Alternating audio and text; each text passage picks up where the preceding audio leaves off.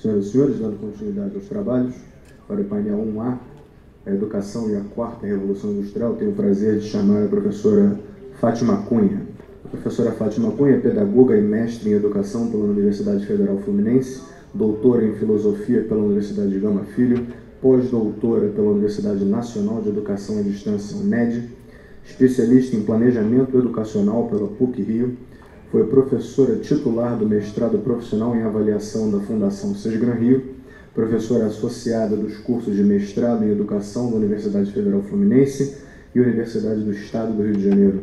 Foi coordenadora geral e coordenadora de acompanhamento do Enem e coordenadora do processo e análise dos resultados do SAEB. Presidiu o Conselho Nacional de Educação, atualmente é assessora especial da presidência da Fundação Sesgran Rio, editora da revista Ensaio e membro titular da Academia Brasileira de Educação. Com a palavra, professora Fátima.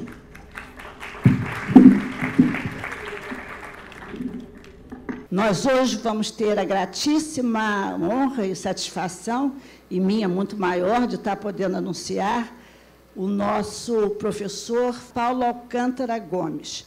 Paulo Alcântara Gomes é uma pessoa excepcional na área de educação, na área de ciência, na área de tecnologia, talvez seja dos melhores do Brasil e do mundo nessas áreas. Ele possui graduação em Física e Engenharia Civil, ambas pela Universidade Federal do Rio de Janeiro, mestrado em Engenharia Civil e doutorado em Engenharia Civil, ambos pela CUVERG, professor titular aposentado da Escola de Engenharia da UFRJ, tendo sido diretor da COP, UFRJ e reitor da UFRJ. Foi presidente do SEBRAE Rio de Janeiro, é membro da Academia Nacional de Engenharia e da Academia de Engenharia de Portugal e vice-presidente da Academia Pan-Americana de Engenharia, da qual é membro emérito. Membro da World Academy of Arts and Science, é ainda vice-presidente do CERJ. Foi presidente da Associação Brasileira de Educação, ABE, e membro do Conselho Estadual de Educação do Rio de Janeiro. Foi pró-reitor de Engenharia, Inovação e Tecnologia da Universidade Cândido Mendes. Atualmente é diretor acadêmico da Faculdade Sesgran Rio, vinculado à Fundação Sesgran Rio.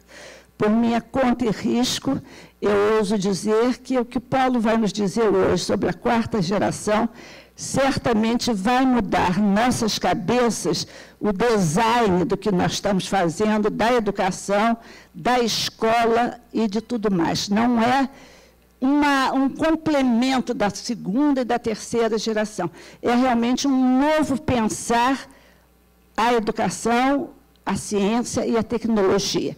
Eu chamo aqui o Paulo para poder começar os seus trabalhos. Muito boa tarde. É com grande satisfação que participo deste seminário. Eu vou tratar da quarta revolução industrial e seu reflexo sobre a educação. Como eu tive a oportunidade de colocar na minha intervenção hoje pela manhã, esse é um assunto de grande interesse para nós na América Latina e, em particular, para nós no Brasil. O interesse vem da, das mudanças que estão ocorrendo no, nas empresas e, consequentemente, nos empregos e na educação. É, de saída, é muito importante nós definirmos o que se entende por uma revolução. A revolução é uma mudança radical dentro da sociedade que ocorre num contexto político, econômico, cultural e social, onde é estabelecida uma nova ordem que é instituída pelas forças políticas e sociais vencedoras. No sentido figurado, como aconteceu na Revolução Francesa, uma revolução pode ser o sinal de uma mudança radical. A Revolução Industrial é uma mudança radical associada às novas tecnologias, provocando profundas alterações nas estruturas sociais e nos sistemas econômicos. Nós podemos, nós estamos tratando da quarta Revolução Industrial, mas nós temos três revoluções que aconteceram que promoveram essas mudanças radicais.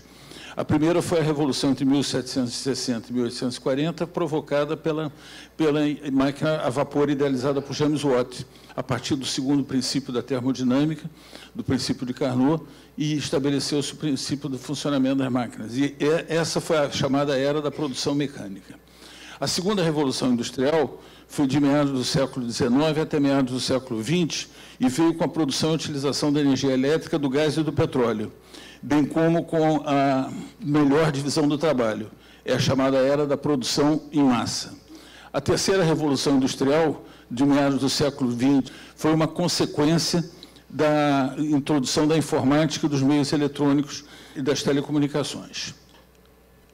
Em 1983, Lederman e Maloney, do Banco Mundial, criaram um mapa eh, mostrando a evolução do conhecimento e demonstraram que entre 1948 e 1983, por um intervalo de 35 anos, 80% do progresso científico e tecnológico ocorreu. Ou seja, houve uma velocidade brutal no acréscimo de conhecimentos, no acúmulo de conhecimentos, e isso, evidentemente, teve profundos reflexos sobre a sociedade. Que reflexos foram esses? Primeiro, para alcançar 50 milhões de usuários, o rádio levou 38 anos, a televisão apenas 13 anos, a internet 4 anos e o Facebook, por exemplo, apenas 2 anos um intervalo de tempo cada vez menor, onde as mudanças acontecem de, cada, de uma forma cada vez mais rápida. É, para se ter uma ideia, esse é um disco rígido do computador Ramac 305 da IBM, que pesava perto de uma tonelada, sendo carregado por uma empilhadeira de um avião da companhia Pan American, que era uma companhia existente nos anos 60 e que depois teve uma série de problemas. E o mais interessante é que nós podemos observar esse, esse disco rígido e comparar com os pendrives que nós temos nas nossos bolsos e que tem 4 GB ou, ou 64 GB ou 128 GB. Essa velocidade de aquisição de conhecimentos, ela acabou sendo medida, por exemplo, pelo número de consultas no Google. Em 2006, o Google tinha 2,7 bilhões de buscas mensais em 2016 nós passamos a ter mais de 100 bilhões de buscas mensais e 15% são combinações de palavras nunca utilizadas antes, o que é muito importante nesse processo. Bom, daí surgiu a quarta revolução industrial, que foi uma denominação atribuída a Klaus Schwab, que é o organizador da reunião de Davos, na Suíça, e que é uma reunião anual onde são tratadas questões ligadas à, à economia, à educação, à ciência, à tecnologia e ao desenvolvimento dos países. E ela pode ser caracterizada por uma fusão de tecnologias e que está fazendo desaparecer as linhas divisórias entre os mundos físico, biológico e digital. A quarta revolução é vista como a utilização das fontes limpas de energia nos novos materiais, na biotecnologia e na economia criativa. Quais são as características da quarta revolução industrial? Primeiro, as facilidades de comunicação trazidas pela telefonia móvel, que são determinantes para o acesso às informações e ao conhecimento. Segundo, as novíssimas impressoras 3D, a robótica e automação na indústria foram abordadas na conferência de hoje de manhã. A simulação dos sistemas biológicos, a internet das coisas e outros exemplos que poderiam ser citados contribuem para o melhor desempenho das empresas e para a melhoria da qualidade de vida e do bem-estar social. Ou seja, nós passamos a trabalhar um pouco com o princípio do maker, do faça você mesmo, e esse princípio vem ganhando força, fazendo pagamentos pela internet, reservando um táxi, ouvindo músicas, atingindo cada vez mais as várias camadas da população, desde que elas possam pagar por estes novos serviços. Evidentemente, isso provoca reflexo sobre as empresas que começam a ter necessidade de reexaminar de que forma os negócios são realizados as lideranças empresariais precisam passar a compreender os ambientes de mudança e inovar continuamente para que as empresas tenham sucesso. Com isso, a construção do processo de competitividade das empresas passou a impor novas variáveis, que são a inovação, o empreendedorismo e o conhecimento. Sem inovação, nós não conseguimos construir uma empresa competitiva. Sem empreendedorismo, nós também não conseguiremos. E sem conhecimento, seguramente nós não conseguiremos. Esse triângulo poderia ser, deve ser tão, tanto quanto possível equilátero, porque se for daqueles em que os dois lados são muito maiores do que um terceiro lado, evidentemente o processo de desenvolvimento da empresa será falho e isso poderá gerar uma série de problemas. O fato é o seguinte: as revoluções transformam a sociedade, a sociedade muda as empresas e muda de que maneira? empresas inovadoras de base tecnológica vão surgindo e ideias e execuções estão muito próximas. Os públicos-alvos são menores e diferenciados e os produtos são especificados. Grandes empresas se integram à distância, utilizando as novas tecnologias de informação. Por exemplo, design na Itália e confecção na Indonésia. Isso muda completamente o pensar do, na organização das empresas. E novos modelos de fábricas automatizadas e inteligentes, onde a presença humana passaria a cumprir o papel de gerenciar a ação das máquinas e não mais o de operá-las. Essa é uma mudança que ocorreu. Micro e pequenas empresas estão cada vez mais organizadas em arranjos produtivos locais, com profundos reflexos sobre a geração de emprego e de renda. Nós trabalhamos agora com cadeias produtivas e cadeias de fornecedores. Empregados começaram a dar lugar a empreendedores. E um dado brasileiro de grande importância, que mais de 90% das empresas brasileiras estão enquadradas na categoria das micro e pequenas empresas, que buscam maior competitividade, conhecimento e inovação. E o detalhe fundamental desse processo é que essas empresas, essas micro e pequenas empresas, no caso brasileiro, são responsáveis por 60% da força de trabalho do país e por 27% do produto interno bruto. Ou seja, as empresas transformadas pela quarta revolução industrial, elas transformam os empregos e os trabalhadores altamente qualificados passam a ser mais demandados. Trabalhadores de nível médio que possuem alta probabilidade de automação deverão se recapacitar para se preparar a assumir funções complementares àquelas que serão realizadas pelas máquinas. E trabalhadores em funções menos qualificadas provavelmente sofrerão uma pressão salarial dada a grande oferta de mão de obra. Com isso, as empresas estão trabalhando, mudando os empregos, e nós observamos alguns detalhes importantes. 80% da tecnologia foi desenvolvida há menos de 10 anos e 80% do fator trabalho e da mão de obra foi formada há mais de 10 anos. A universidade está preparando jovens para profissões que ainda não existem e as empresas estão acelerando seus próprios processos de formação e qualificação. Hoje nós já temos algumas centenas de empresas, de universidades corporativas e instituições nas próprias empresas, promovendo mudanças radicais no processo educacional. Aqui, duas ou três slides que eu vou passar muito rapidamente. Nós temos exemplos de novas profissões e novos cursos. Analista de dados é um exemplo, cientista de dados, desenvolvedor de software, funções dependentes de habilidades sociais em áreas como atendimento ao cliente, vendas e marketing, treinamento e desenvolvimento, são exemplos típicos. Mecânicos de veículos híbridos, mecânicos especialistas em telemetria, técnicos em informática veicular, técnicos em impressão de alimentos, tudo isso são exemplos típicos que nós temos. Integradores de sistemas de automação predial na construção civil, técnicos de construção seca, técnicos em automação predial, todas essas profissões estão sendo criadas a cada dia, se modificando e criando novos procedimentos no processo educacional projetistas para tecnologias 3D, operadores de máquinas de alta velocidade, programadores de ferramentas CAD-CAM, técnicos de manutenção e automação, todos esses fazem parte desse conjunto. Então, nós estamos vivendo uma tarefa difícil. É uma tarefa, de, segundo a mitologia grega, do Sísifo a cada revolução industrial, nós somos obrigados a construir nova, uma nova ideia sobre as empresas. Essas empresas interferem nos empregos, os empregos interferem na educação, e a educação vai sendo reciclada, vai se modificando desse processo.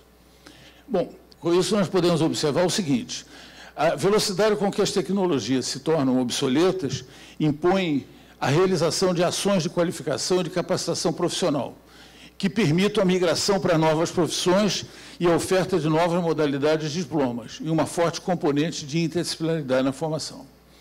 É preciso assegurar uma forte participação das universidades no processo de desenvolvimento, através da realização de projetos voltados para a inovação, para a apropriação e para a transferência de tecnologias.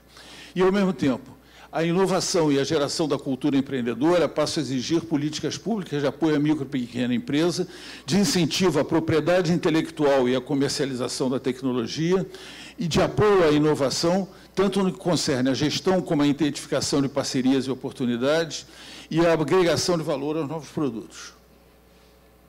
Qual é o foco da educação 4.0? Primeiro, a introdução de novas práticas pedagógicas deve incorporar o uso intensivo das novas tecnologias de informação. Em segundo lugar, a formação pluridisciplinar e a transversalidade das disciplinas é fundamental nesse processo.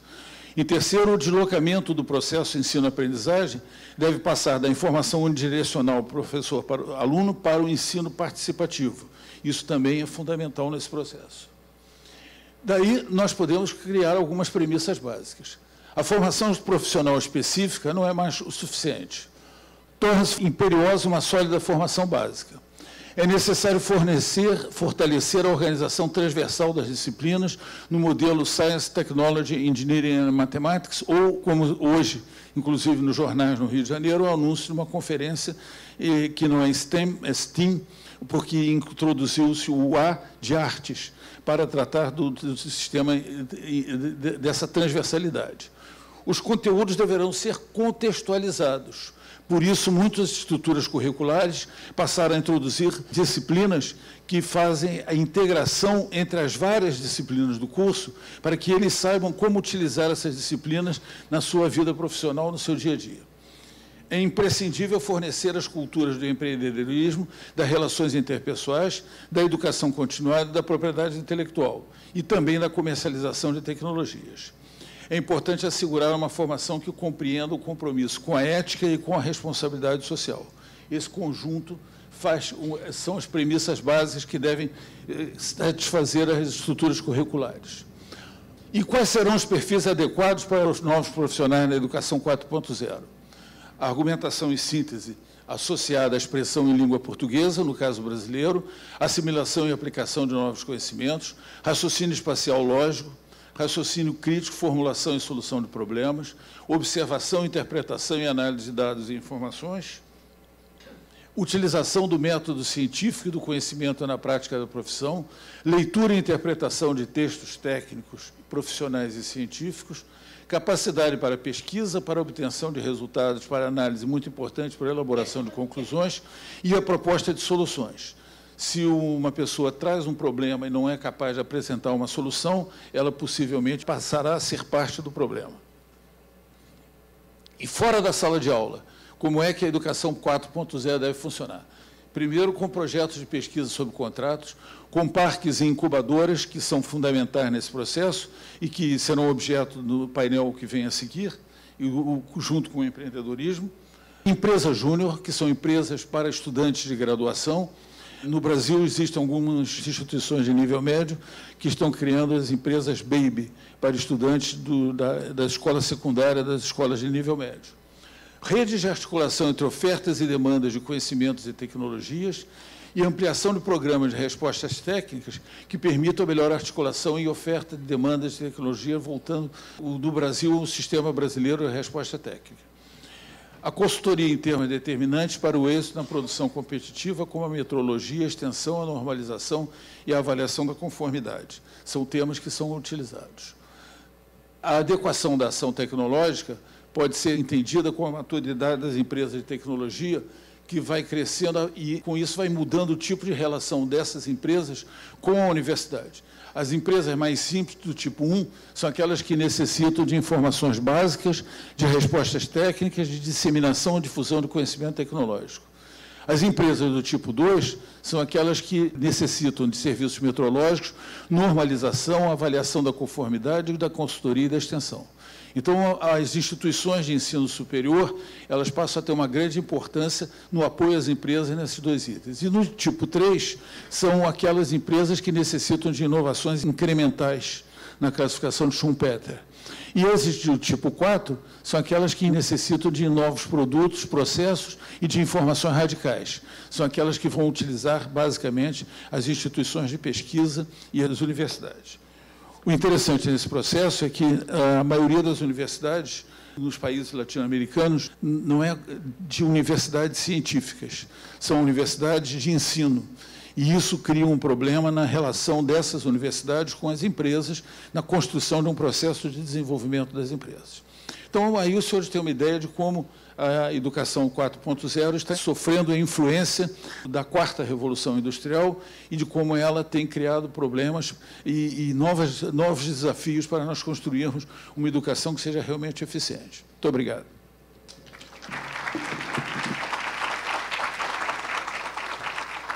Agradecemos ao professor doutor Paulo Alcântara Gomes, e fico olhando para os colegas, companheiros, todos os educadores presentes, e fica a pergunta: o que seremos de nós na educação 4.0? como vamos conduzir as nossas universidades, faculdades e os nossos alunos para chegarmos a essa educação. É uma tarefa árdua que temos que botar as mãos a trabalhar rápido. Eu pergunto se alguém tem uma pergunta rápida. A professora Miriam tem, por favor, Miriam. Não precisa responder, não. É só para provocar e a resposta ficará mais adiante para nós não perturbarmos os outros painéis. Observa-se hoje com muita facilidade que os alunos têm um domínio muito maior da tecnologia do que os próprios professores. Então, as crianças, acho que hoje, 4, 5 anos, o celular já faz parte. E não sei se alguém já teve a oportunidade de receber dos seus sobrinhos as perguntas básicas, mas você não sabe isso? Tem certeza que você não sabe? Então, a minha pergunta é dividida em dois tópicos. Para essa revolução 4, nós vamos ter que fazer dois caminhos, um para os professores e outro para os alunos? Essa é a primeira pergunta. E a segunda, como a gente vai fazer no contexto atual, em que as nossas escolas recaem sobre diferentes tem a Cidade de Deus, tem a Maré, tem Morro do Alimão.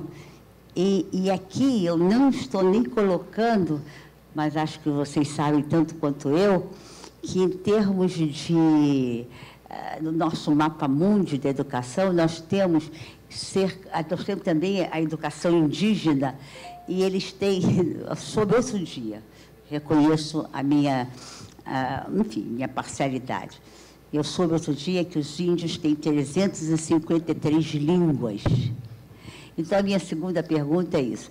Num mapa mundo tão rico e tão grande, como você acha, e não precisa responder não, é uma provocação para depois, quando isso vai se dar e como nós reagiremos a isso? Obrigada, obrigado. obrigada e obrigada. Muito obrigado. Ah, a primeira pergunta é a necessidade, o, por isso mesmo, a necessidade de formação de, de educação continuada para os professores passou a ser determinante. Uh, há quem comente na literatura educacional no, no, Brasil que o diploma de graduação já deixou de ser o grau terminal para a maioria esmagadora das profissões. O, o, senador Cristóvão Buarque, que foi ministro da Educação, sempre afirma que o diploma deveria ter um prazo de validade porque hoje em dia não é possível é, se considerar que é, um diploma de graduação vai permitir ao indivíduo exercer. Isso vale também para os professores. A questão da formação de professores exige a educação continuada. Por isso que num dos slides eu cheguei a mostrar, eu andei um pouco mais rápido com os slides, porque nós estamos com muito tempo de atraso, mais de meia hora, mas uh, o, o, problema fundamental é que o, um dos pontos fundamentais é criar nos, nos estudantes a cultura da educação continuada. Há três culturas que são fundamentais nos, no, em países como os nossos. A cultura da educação continuada, a cultura do empreendedorismo e a cultura da comercialização de tecnologia e da, da, cultura, da inovação. A cultura da inovação é fundamental também nesse processo. A segunda questão é da diversidade. A diversidade é, é, é fundamental de ser observada e são situações gravíssimas. Em, em, municípios, em cidades como Rio de Janeiro, por exemplo, a uma distância mínima entre, entre bairros, nós temos diferenças fundamentais, cruciais, entre as várias escolas. Há escolas que têm um computador e há escolas que têm 100 máquinas, 200 máquinas para atender aos seus alunos. Evidentemente que essa diversidade gera problemas gravíssimos e que tem que ser resolvido. Ou seja, é preciso que se estabeleçam políticas públicas para a construção de realmente de uma base mínima para atender às necessidades de formação dos nossos jovens e, da, e na educação básica também de forma determinante. It was a very excellent uh, presentation. And I think there are many young people here in the audience. And you gave a good orientation for the young people in respect to the fourth revolution. You have not mentioned nanotechnology, by the way, which is also a very important one. But my question here is, you educate students in this country, in South America, for bachelor degrees, master degrees, PhD.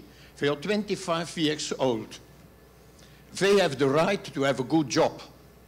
What their education, what they get today, is not for the fourth revolution. So young students from in the audience, when they are finished, and the fourth revolution is coming, and I think comes quickly, they have received an education which is not useful and not accepted in the fourth revolution. What is the government, your government, and the government for the regions? What are the rectors and the presidents from the universities in this country doing in order to give the education which is necessary for a good job, and not only for a good job, for a good job for the rest of their life. What are they doing in making the big changes so that the students are sure that when they are PhD doctor in something, that they have a good job. And just the last point, in Europe, we had in the past PhD in chemistry. They got a good job when they finished. But after 10 years, the chemical company is changing, buying food technology, buying even electronics companies. Take, for example, the big company BASF in Ludwigshafen in Germany. And then what are you doing with the PhD in chemistry in a narrow area of chemistry? What is happened in Germany, they put him on the door we put them outside. And we cannot find a new job for the very simple reason that we got a high salary for these 10 years and afterwards not accepted in the society. And then the point is, the fourth revolution is not a revolution in Brazil, that is a revolution in the whole world. That means that Brazilian companies, they need, in order to be competitive, have also the best people in the world and there will no Brazilians, because they have not been educated to get an excellent education, you will get the good people with the excellent education from abroad. And that would be a pity. And we in Europe, we are know that. And we are really asking that something, the reason why I'm here, that something has happened in this country and that follow the European line of thinking, where we have the revolution the revolutions in our education during the last 10 years. And I understand that here in the country, you have one computer in a laboratory and you have in another one.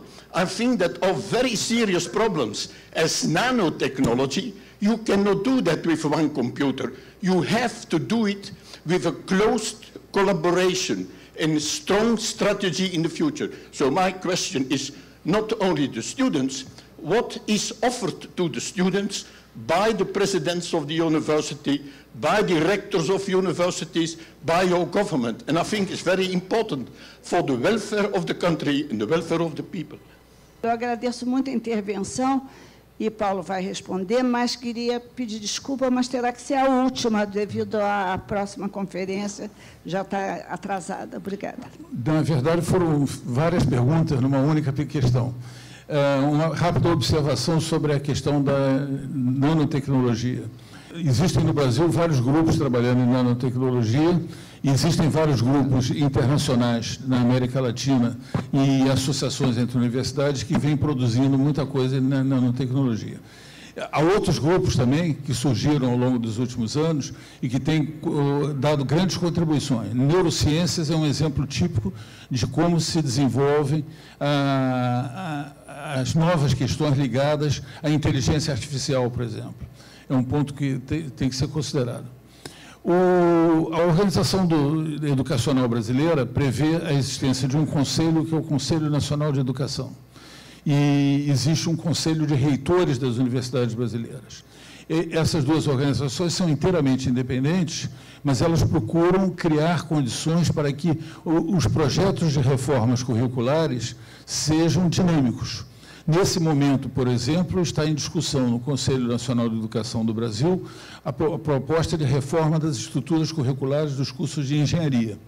eh, levando em consideração aquelas competências e habilidades a que eu me referi num, em dois dos meus slides, que são fundamentais nesse processo e levando em consideração alguns outros fatores fundamentais. O STEM, a articulação, a transversalidade das disciplinas em ciência, tecnologia, engenharia e matemática tem sido considerada como fundamental na construção desse processo também. Acho que para ficar por aqui. Vamos agradecer ao professor Dr. Paulo Alcântara Gomes e vamos ter que dar por encerrada a sessão devido ao adiantado da hora. Obrigada a todos que tiveram paciência de estar aqui conosco e até a próxima.